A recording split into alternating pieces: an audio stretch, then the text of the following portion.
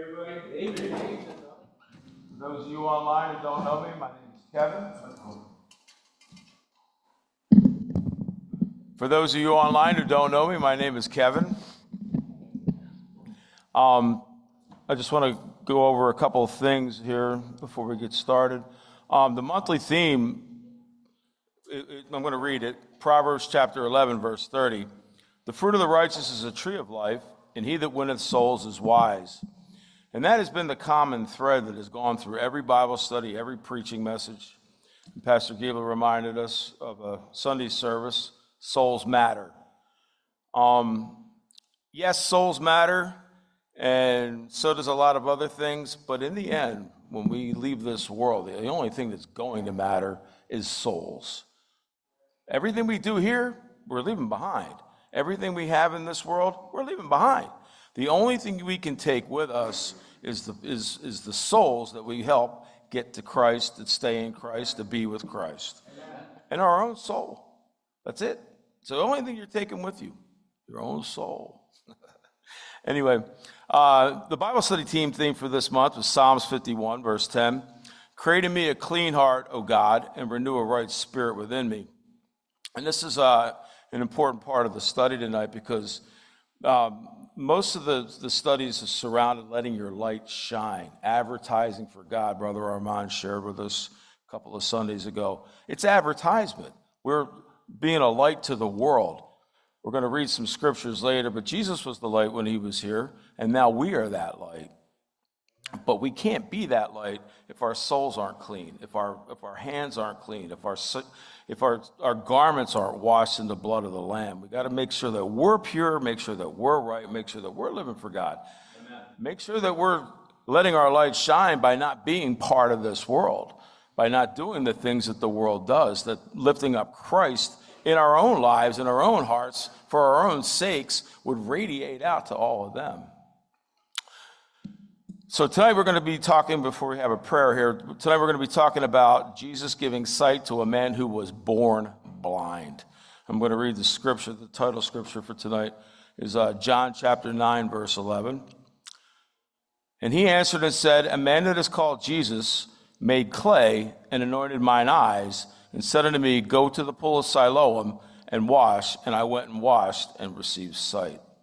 So let's have, if you guys don't mind bowing your heads with me for a word of prayer as we invite God's presence in. Jesus, we love you. We thank you, God, and we pray that your spirit would be upon us here, Lord, in the reading of your word, that we would find you in your word, Jesus, because you are your word.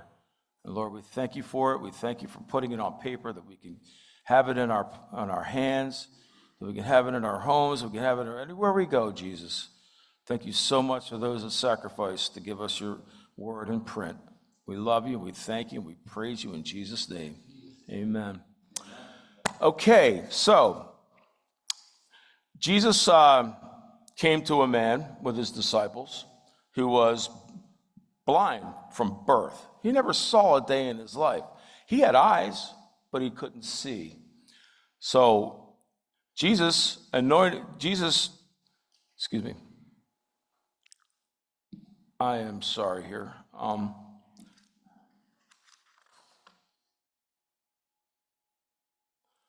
verse uh, 6, Pete, of John,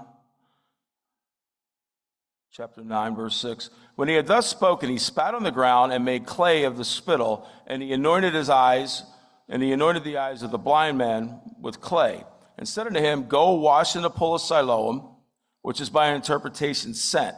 And he went his way, therefore, and washed and came seeing. I want to talk about the pool of Siloam for very briefly here. I'm not going to spend a lot of time on it. But the term pool of Siloam refers to a number of rock cut pools. So Siloam wasn't the name of one specific pool, it was the name of a lot of them uh, anywhere there was a bathing pool, wherever people had, there was, was public bathing pools and there was private bathing pools. And they were all from a tunnel that was dug by Hezekiah. The tunnel's name was Siloam, which means sent. And it was just basically an aqueduct that ran through the city. And, and it was um, fed by, the, by a spring called Gihon that pushed the water up down through this tunnel. And wherever they wanted to have a, have a bath, wherever they wanted to have a public bath, or rich people had, them, had uh, pools of Siloam in their own homes. They had hired people to cut out the rock that they could access the water that was being forced up by the spring. So Siloam simply means that the spring is pushing or sending the water to these locations. I'll finish reading this. It refers to a number of rock cut pools located outside the walls of the old city of Jerusalem to the southeast. The, the, the pools were fed by the waters of the Gihon spring, carried there by the Siloam tunnel. And I want to read that real quick here. 2 Kings chapter 20, verse 20, where this tunnel came from. And of the, one more time, 2 Kings 20, 20 and the rest of the acts of Hezekiah and all his might, and how he made a pool and a conduit and brought water into the city, are they not written in the book of the Chronicles of the kings of Judah?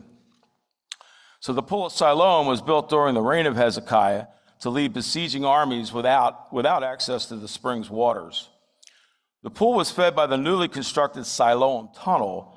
An older Canaanite tunnel had been vulnerable to attackers, so under threat of the, from the Assyrian king Sennacherib, Hezekiah sealed the old outlet of the Gihon spring and built a new underground Siloam tunnel in, in place of the old tunnel, older tunnel. So that's all this is, is, is city-fed water. So we have, now these, these pools are called mikvahs by the, uh, the, in the Jewish language. And there was a lot of them, and people had them in their homes, and people had, there was public ones, there was men's ones, there was women's ones. David had one outside his window, unfortunately for him. Um, but we have a pool back here ourselves. We have a, a mikvah, a bathing pool, a, a pool that we can baptize in. It's just a body of water back here. And the water doesn't mean anything. It's, it's that, that tank back there is filled with tap water supplied by the city. And every mikveh in Israel was, was supplied by tap water from city, the city, the conduit. Okay, simple as that.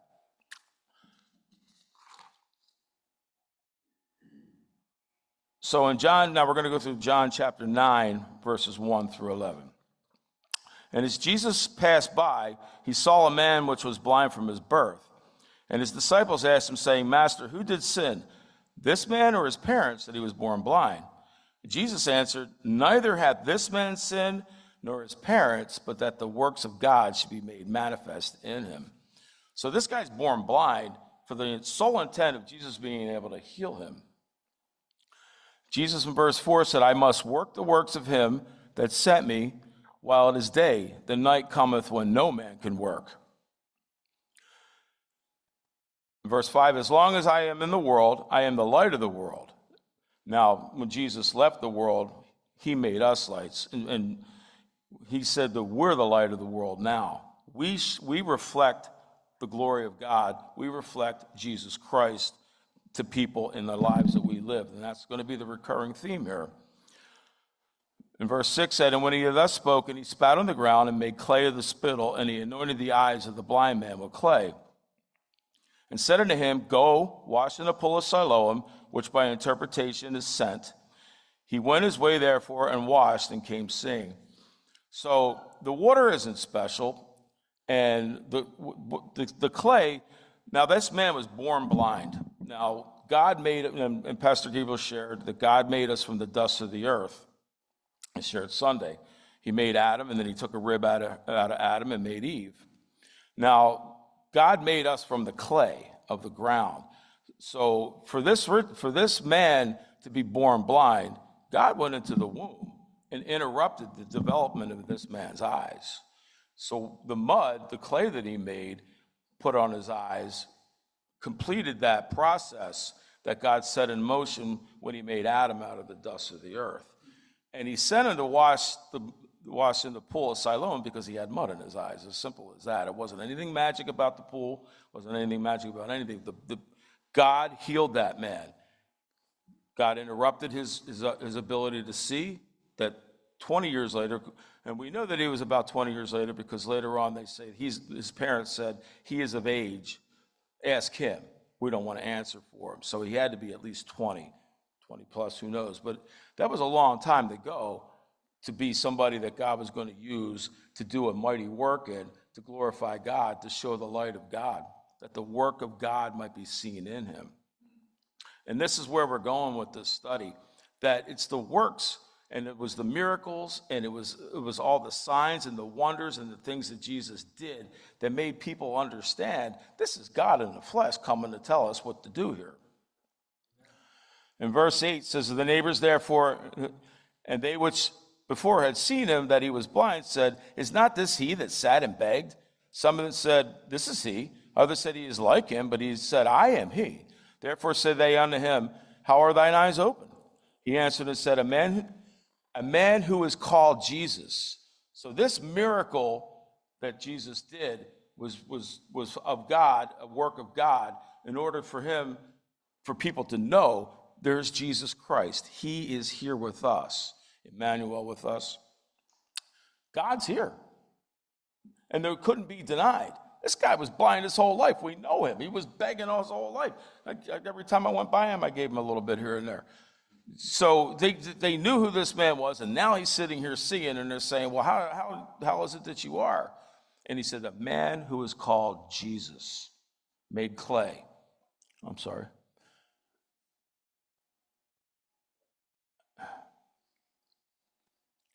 A man who was called Jesus made clay and anointed mine eyes and said unto me, Go to the pool of Siloam and wash. And I went and washed, and I received sight. Matthew chapter 5, verse 16. Let your light so shine before men that they may see your good works and glorify your Father which is in heaven. So now Jesus was on the earth doing these miracles, doing these wonders for about three and a half years. We know that because he went up to uh, Jerusalem three times for Passover. And the final one he was killed in, murdered. Um, so we know, we know that that was about the timeline that he was here. But when he left, he returned us in, in the form of the Holy Ghost, filled us, and made us the lights of the world. We are now His body. We now carry His word to people through living it in our own lives because if we're not living it, they're not going to hear it anyway. And that's been a recurring theme in a lot of the messages. But I want to get to the men's prayer meeting that we had out here um, Friday night last week, was it? Yeah. Um, it was just an anointed time. It was a beautiful time. Amen. But Pastor Malcolm shared about Brother Eugene um, um, Shackelford that wouldn't it be, we should, we obviously are praying for him all the time. We're praying for everybody in the church. We pray for each other. But wouldn't it be a miracle that nobody could deny if, if, if Brother Gene was healed of what, they're, what, what these doctors are saying we can't do anything for. People would come from, because he's in the, uh, the veterans, and, and Pastor Malcolm said this, he's in the Veterans Administration database. So there would be no denying this. There'd be no covering this up. There'd be no hiding it. And when the word got out, people would sell everything they had to fly here to get this healing. And this is where we're going with this study now. And then during that, um, that, that, that prayer meeting, um, Brother Tommy um, Ramey started speaking in tongues. And Pastor Malcolm, who was standing next to me, started interpreting those tongues. Now, these are two gifts of the Spirit, okay? The gift of speaking in tongues, praising God in an unknown tongue that only you and God understands, and somebody who can interpret it. The gift of Paul said if somebody's going to be speaking in tongues, you got to have an interpreter. Mm. Well, we got both. Well, so we already got two of these gifts nailed down, right? And and one of the things that stood out to me, and when Pastor Malcolm was was interpreting the tongues, was that when Tommy was praying to God, he said, "You you have the keys to the kingdom." So Jesus is right there with us, unlocking the door. Okay, now in in, in John chapter twelve, verse thirty-two it says, And I, if I be lifted up from the earth, will draw all men unto me. And this is what we need to do, is to lift Jesus Christ up. Now, we do this every day as Christians. We lift up God in our lives. Amen. When we're living the truth. When we're, when we're not partaking and we're not participating in the worldly things, we're standing apart from that, saying, No, that God said, don't do that, so I'm not doing that. When we do what God says to do, when we, we seek His word, when we're always when we're praying all the time, when we're fellowshipping with each other, when we're, when we're desirous to get to get to God and to speak of the glory of God, okay, that we're letting our light shine all the time. But we need the gifts of healing. We need the gifts of miracles. We need the gifts of works in, in our church. It doesn't mean any individual person has to have all these things, even though I'm personally praying for every last one of them. I want them all. But I mean, just because um, it, you, we pray for ourselves to get these gifts, but what if God decides, well, we are all members of the body of Christ. We all have our own certain place in the body of Christ. What if God gives, you're praying for the gift of healing, but what if God gives it to, to, to um, somebody else that's sitting, you know, that's in the body, and that they have it, and that they're going out and doing the healings? That doesn't change the answer to your prayer because it is a, it, we are the body it is the church. We're not trying to be special of ourselves. We need to we want to lift up jesus christ. Amen. That's right. All right. So now i'm going to read a few things here. In matthew chapter 6 verse 31 through 34 uh, excuse me mark 30 mark chapter 6 31 through 34 and he said unto them come ye yourselves apart into a desert place and rest a while, for there were many coming and going, and they had no leisure so much as to eat. And they departed into a desert place by ship privately. And the people saw them departing, and many knew him, and ran afoot thither out of all cities. And out went them and came together unto him. They ran to him. When they knew that he was here, they were running to get to Jesus. Well, they had infirmities, they had needs, they had things they wanted healed, they had things that they, they wanted to hear, they wanted to know what, what was going on here. They wanted to talk to him, they wanted to hear him talk. They ran to him. And that was the, the, uh, the point that Pastor Malcolm was making on the Friday night uh, uh, prayer meeting is if, if, if, if, if, if we would have healings in this church, if we people were getting healed, there was undeniable miracles is really what this comes down to. If it's okay, just okay, you're a good guy, that's great. I mean, if you're just shining your light, you're living a good good life, oh, you're, you're a real nice person. I get that. But if somebody's getting healed, you can't deny that. That's not coming from a person. That's not coming from a man or a woman. That's coming from God and God only. If we had that kind of thing happening, then the people, not, not to draw them here to this building with its vaulted ceiling, but to draw them unto Christ to be yes, saved. Sir. Because at the end of life, all that matters is souls. Amen. All right? I mean, yes, we have to live this. We, are we're, we're both, we're, we're half and half. We're, we're half breeds. We're half spirit, half flesh. We have to live in both worlds. And we're the only creature that can we communicate with heaven and we live here on, on earth, right? But in the end, everything that, that, that's important, we have to go, we have to get up and go to work, got to come home, take a shower, got to get, get your rest, you got to eat, you got to do this, you got to do that, you got to make, you know what I'm saying? You, yes, we have to live in both worlds, but the, the world that matters is the, is the spiritual world, the world to come, the kingdom of heaven. Because when we're leaving the ground, I'm not looking back. Well, that's what that looks like. No, I'm looking up to where I'm going. so it's not going to matter about this world. It's not going to matter what, the, what we had to do in this, in this life. What matters is souls. And that's all that matters is souls. In verse 34, it said, And Jesus, when he came out, saw much people and was moved with compassion toward them because they were as sheep not having a shepherd, and he began to teach them many things. Now remember, Jesus had taken them aside because they were tired. There were so many people coming and going everywhere they went. They were exhausted, and they didn't even have time to eat. Jesus took them away to rest. But when the people saw him taking them away to rest, they ran to him. And when Jesus turned around and looked, he had compassion on them. He was ready to minister unto them. And that was another point that was made Friday night at the fellowship. Would we be ready if God did heal, start healing people? And people started coming here and flying from, from other countries to, to, for this? Would we be ready to minister to them? Would we be ready to share with them? Would we be ready to, to, to, to, to help them come to the knowledge of Christ? So, um, this is not going to be a long Bible study, believe it or not. Um, I always take my time, brother, but and, I, and then I take some of yours. But uh, Acts chapter 5, verses 12 through 16. And by the hands of the apostles were many signs and wonders wrought among the people. And they were all with one accord in Solomon's por- porch. And of the rest, thus durst no man join himself to them, but the people magnified them. And what he was talking about, the rest, was that the Pharisees were standing back. They didn't want, to, they didn't want anything to do with him, but the people were magnifying him. And believers were the more added to the Lord, multitudes, both men and women, multitudes, because of these signs and wonders, because of these healings.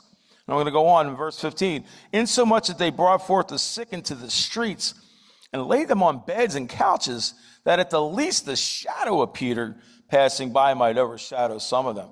Peter's shadow was people were getting healed just being underneath his shadow as he walked by. That's how much spirit they, that the apostles were seeking God for day and night.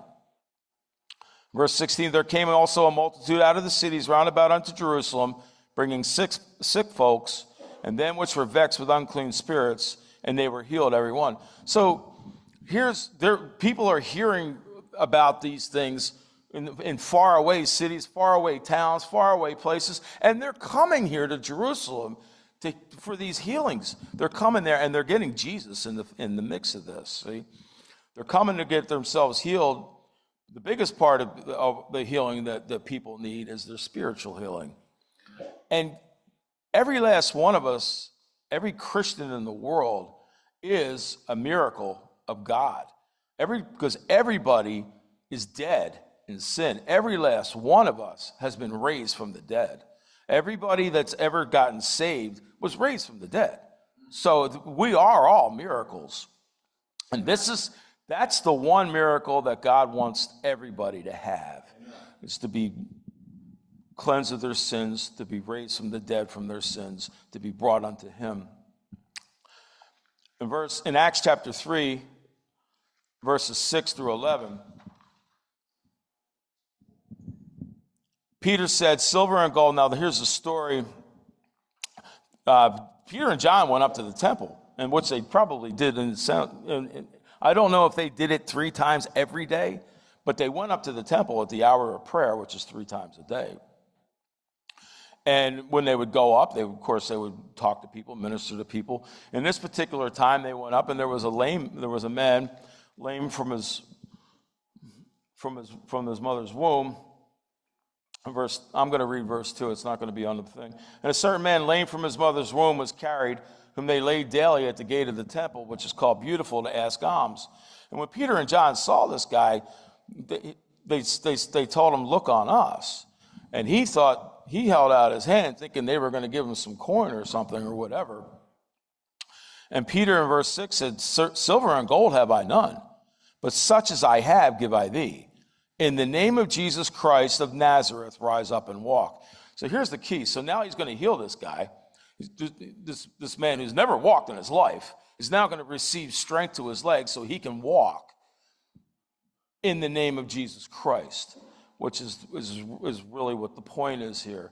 That these works, these miracles, these wonders, us letting our light shine, is to glorify God and to let people see that it's Jesus that we have that makes us so that's doing these things, and that's who they need. Okay. Um, in verse 7, and he took him by the right hand and lifted him up, and immediately his feet and ankle bones received strength. And he, leaping up, stood and walked and entered with them into the temple, walking and leaping and praising God. Okay, so this, this guy's never walked in his life, but he's these people looking at him. Oh my, he's, he's jumping around like he's like a, like a 10 year old. Just got a new toy.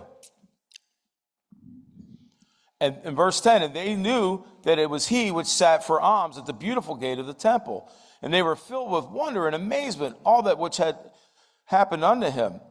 And as the lame man which was healed held Peter and John, all the people ran together unto them in the porch that is called Solomon's, greatly wondering. They ran to this. When they're hearing about it, the guy's in there walking around, he's jumping and leaping, the, you know, the lame guy. They were running into that. They were running to, to see what was going on here. And this is what we need to, to have in our lives. In verse in 1 Corinthians chapter 12, verse 31, but covet earnestly the best gifts, and yet show I unto you a more excellent way. All we have to do is ask. All God in, in, verse, in, in Luke chapter 11, verse 13, if ye then being evil, which we all are really in the flesh, know how to give good gifts unto your children, how much more shall your heavenly Father give the Holy Spirit to them that ask him? And that's what we're when we're asking for the gifts of the Spirit, we're asking for the Holy Ghost, the gift of the Holy Ghost in our lives. Whatever that gift might be a prophecy, teaching. This is the gift that I asked God for many years ago and gave to me. Um, the ability to understand the Word of God, the gifts of healing, the gift, the gifts of, of, of, of being able to share, to being able to witness, the gifts of just being a help. And I didn't take the time to put down all that because I would have been here for a long time. Um, but we need all these spiritual gifts, and all we got to do is ask for them, and He's going to give them to us. How much more shall your heavenly Father give the Holy Ghost to them that ask Him? All you got to do is ask. All you got to do is ask. I'm asking for all of them. John chapter 14, verses 12 through 14. Verily, verily, I say unto you, he that believeth on me, the works that I do, shall he do also. And greater works than these shall he do, because I go unto my Father. Well, when he went back up into heaven, he came back as the Holy Ghost. Greater works are we, are we going to be able to do. All we got to do is seek for them. And, and somewhere along the line, we just got complacent and just stopped. I don't know. Well, well. Hebrews chapter 11, verse 6. But without faith, it is impossible to please him. For he that cometh to God must believe that he is and that he is a rewarder of them that diligently seek him. We have to come to God faith believing, and we got to seek these things and diligently. Do you really want them? Or just like, oh, I'd like to have that, and just walk away from it? No. If you really want something, you can't, you just can't stop thinking about what that thing is. Every, every waking minute, even when you're not looking at it, you, you're thinking about it. When you want something, when you diligently seek for something, that's all you're thinking about. Mm-hmm. Okay, believe it or not, last scripture Luke chapter 13, verse 25. When once the master of the house has risen up and has shut to the door, and you begin to stand without and to knock at the door, saying, Lord, Lord, open unto us, and he shall answer unto you, I know you not, once you are. So, what we're looking at now is, is a world that's really getting to the point where, in the old world before God brought in the flood, they got to the point where God wasn't going to take any more from them. And we're seeing a world now where it's getting to the point where God is not going to take any more from them. And uh, if, if, all that matters is souls, we need to be more diligent than ever right now because when, when once God comes, that's it. Nobody else is getting in. When Jesus, when, when God comes and takes back the gift of the Holy Spirit, those that are in the Spirit are going up, and the, and the foolish ones aren't going up with them. So give diligence. Well, well. I'm done. Amen.